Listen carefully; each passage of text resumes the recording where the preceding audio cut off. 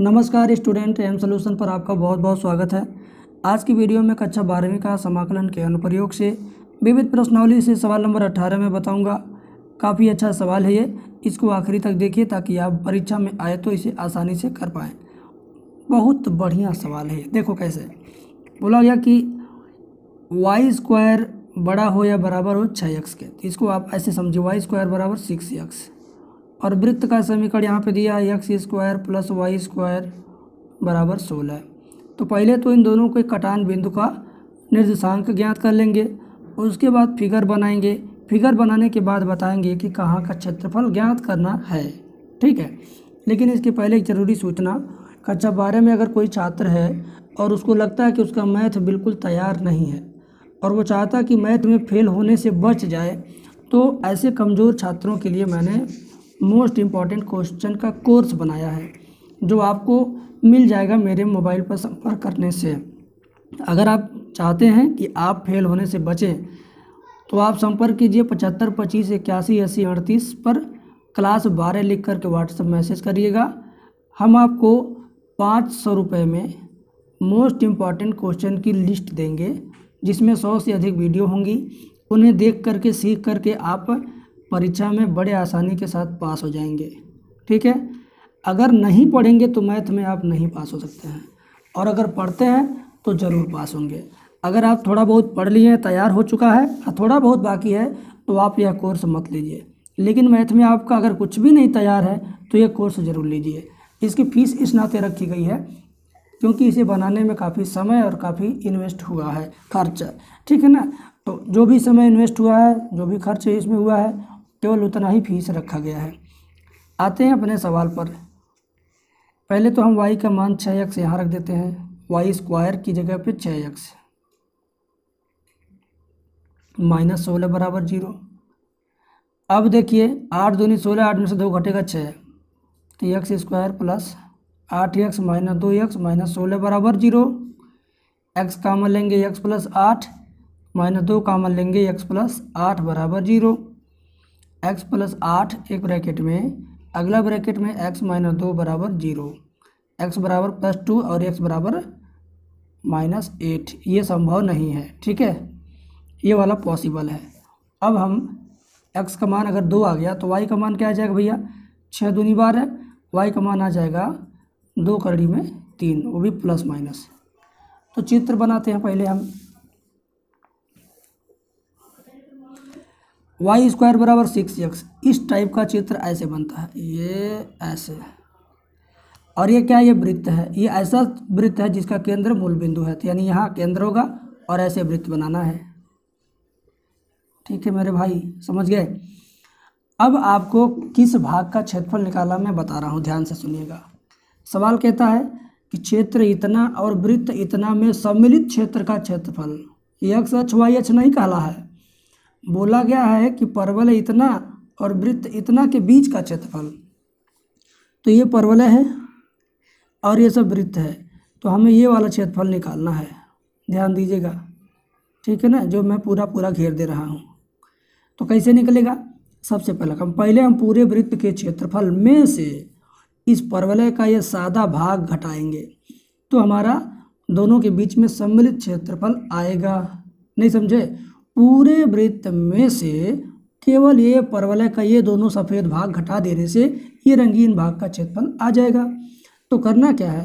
पहले हम पूरे वृत्त का क्षेत्रफल निकालेंगे फिर हम इस सादे भाग का निकालेंगे। सादे भाग वाला क्या होगा? यहाँ से यहाँ पे लंब डाल देंगे सीधा, ठीक है? तो इधर दोनों का निकालेंगे, उसका डबल कर देंगे तो इधर का भी आ जाएगा, ठीक है? तो पहले हम वृत्त का क्षेत्रफल निकालते हैं।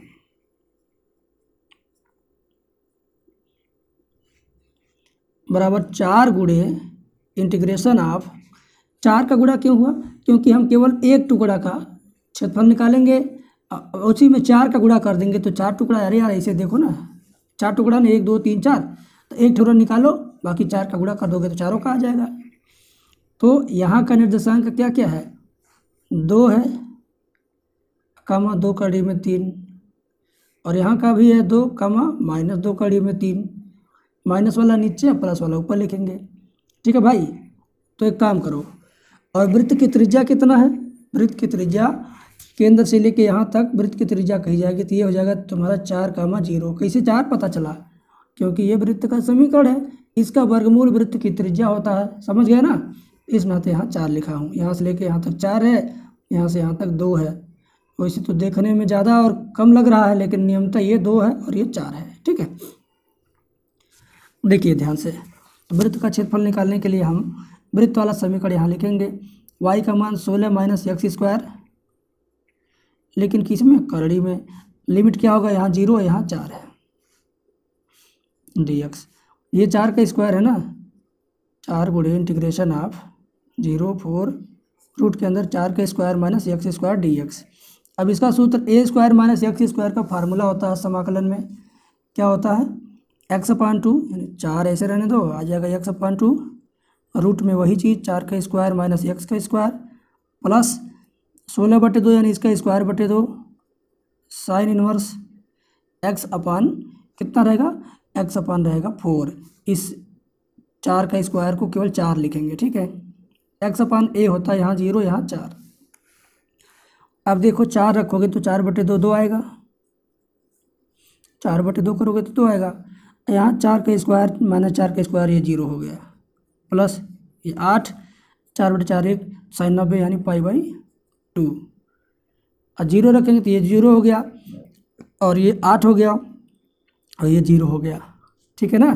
साइन ज़ीरो बटे चार ज़ीरो आया, साइन ज़ीरो वन ज़ीरो होता है।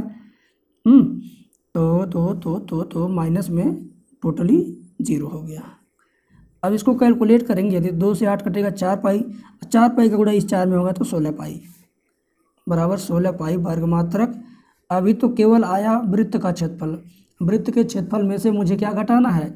ए वाला। ए, इस तरह की लाइनिंग वाला क्षेत्रफल मुझे घटाना है। पूरा पूरा पूरा पूरा पूरा पूरा। ऊपर वाला हिस्सा निकालेंगे, दुगना कर देंगे, नीचे वाला भी आ जाएगा। तो चलिए निकालते हैं। लिखेंगे यक्स अक्ष व परवलय से घिरा क्षेत्रफल। बराबर लिमिट लगाएँगे। एक बार ज़ीरो से चलेंगे दो तक। तो इसमें क्या है? इसमें परवलय है। परवलय का मान करड़ी में छः और यक्स है। कैसे पता चला? देखो। परवलय वाई स्क्वायर बराबर छः एक्स वाई का मान करड़ी में छः हो जाएगा। ठीक है ना? और प्लस अब की बार लिमिट यहाँ दो है और ये चार है। दो है और ये चार है। अब ये क्या वृत्त से घिरा क्षेत्रफल है। तो यहाँ वृत्त का समीकरण सोलह minus X square D X. ठीक है? अब क्या करेंगे? कैलकुलेशन करेंगे। कड़ी में छः बाहर आ गया। एक्स की पावर एक बटे दो का समाकलन क्या होता है? एक्स की पावर तीन बटे दो, होल अपान तीन बटे दो, ज़ीरो से दो। और ये फार्मूला बन जाएगा कौन सा? यही वाला। सेम यही चीज़ है। यही चीज़ मैं फिर यहाँ लिखा हूँ तो, इसका सूत्र यही वाला लिख देना है चुपचाप। एक्स बटा दो रूट में चार का स्क्वायर माइनस एक्स का स्क्वायर प्लस सोलह बटा दो साइन इनवर्स एक्स बटे चार यहाँ पे लिमिट टू और फोर। एक बार चार रखेंगे एक बार दो रखेंगे यहाँ पर तो केवल एक बार दो रख देना है। ये दो करड़ी में छः बटे तीन हो जाएगा। दो ऊपर हो जाएगा तीन नीचे। अगली लाइन पे चलते हैं मेरे